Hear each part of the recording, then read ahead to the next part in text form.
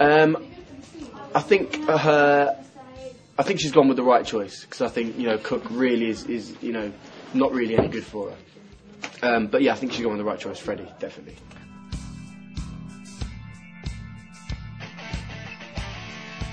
Funniest moment on set, probably the Harry Enfield moment when me and Kaya were filming a scene. She's there to back me up. Um, me and me and Kaya were filming a scene. Harry Enfield kept coming and changing his lines. It just took forever, but it was just forever. Like we were just laughing our heads off every time. I had to keep cutting, which was brilliant, brilliant fun.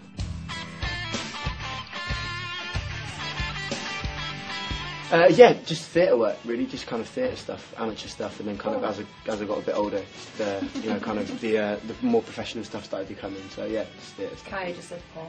Porn. And a bit of porn.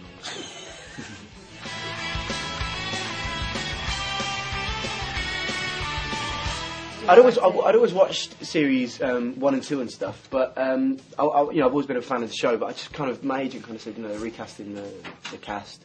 Would you like to go up for it? I said, yeah, definitely. So I kind of went to the open audition, and 7,000 people auditioned for Freddie, I got told. And, So did you meet anybody at the audition that actually made it onto the? Um, I met. Ollie. Well, we had, we had a Bristol audition, which was kind of like the final stages. And I met Ollie there. I met the twins there. I met Jack there.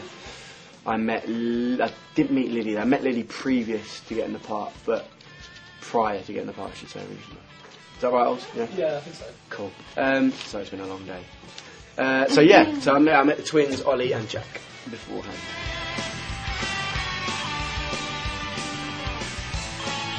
Episode five is mine. Next question.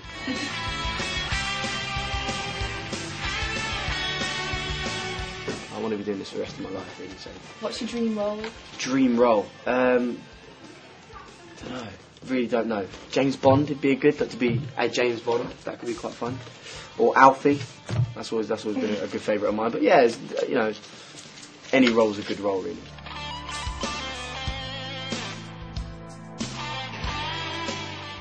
Ah, okay. I've asked it, I've been asked the question quite a bit actually. Is it- is it- yeah, It's, yeah, it's all good fun. Um, you know, it's, the only thing that's kind of a bit off-putting is the fact that you've got 40 blokes standing standing just staring at you. Um, but yeah, apart apart from that, yeah, it was all good. It all good. Is it true that you watched that scene with your mum? I didn't actually watch that scene with my mum. Um, I kind of, she, I, I kind of didn't really tell her it was going to happen. I went and watched it at my mate's house. I didn't really say, you know.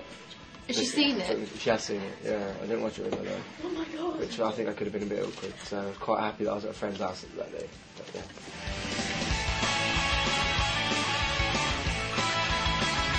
It was a joint Please don't effort. make head any bigger. Please. Shut up, Lily, man! I'm joking. though. I love you. Cheers.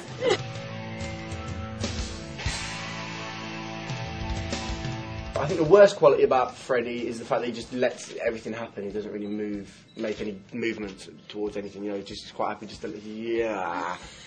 He's quite happy just to let things happen. You know, just let things happen and just kind of take things as they come. And I think the best thing about him is that he's quite, you know, he knows he knows how to, you know, he's in touch with his feelings. I think that's one of his really good, good, good thing about Freddie. You know, he knows how he knows how to, you know, I think he knows how to love someone, but he knows how to hate someone at the same time. So.